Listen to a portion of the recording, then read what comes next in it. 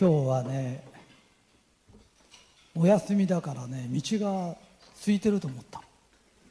そしたらね高速はいっぱいだしね下降りたら工事してるしね、えー、本当にね私あんまり約束して遅れたことがないんだけど今日はなんかちょっと油断して遅れました、えー、すみません。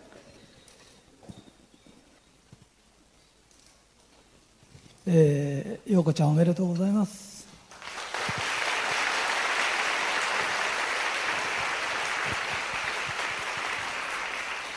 えー、本読んだ人は？あみんな読んでるね、えー、本当にねいい本です。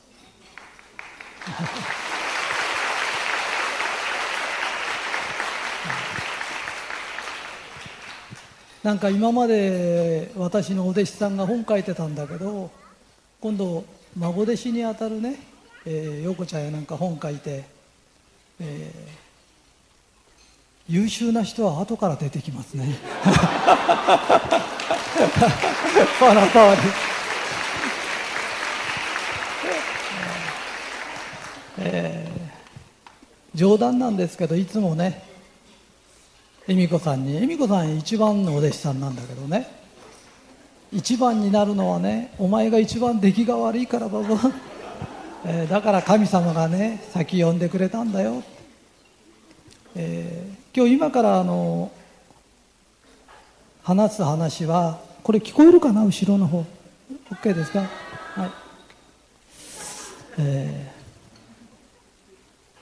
あの本読んだ時一番最初に思ったことはねこれは注意しなきゃいけない。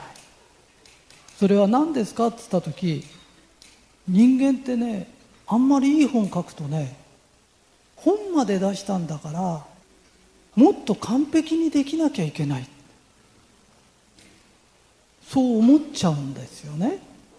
ところがあの本読んでもらっても分かるけど陽子ちゃんって素晴らしいんだよね。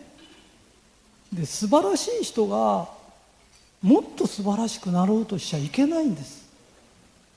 で完璧とはね神の領域なの。で神に近づきすぎるとやけどするよ。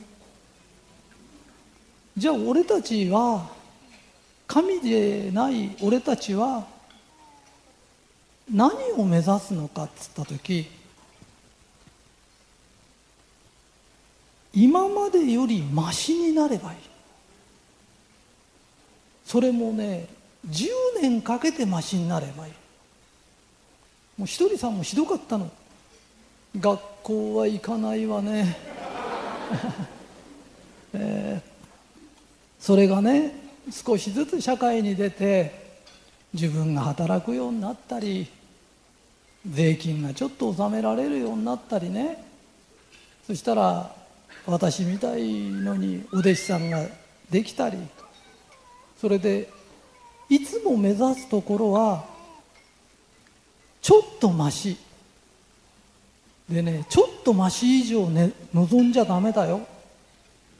苦しくなるから、えー、神とは太陽と同じな本当にありがたい存在だけど近づきすぎるとやけどするよ。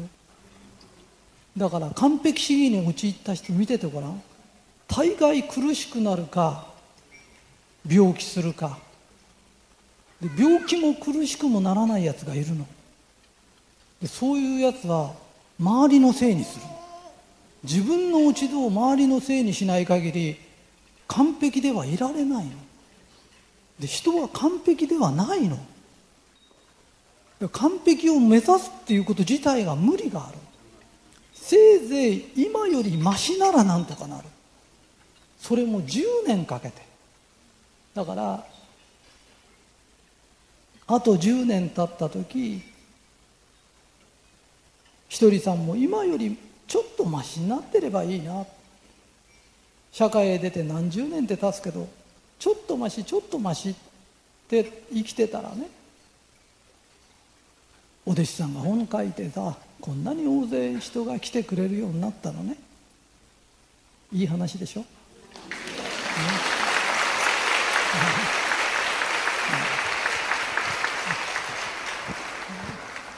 まだまだ降りれないんだよね、えー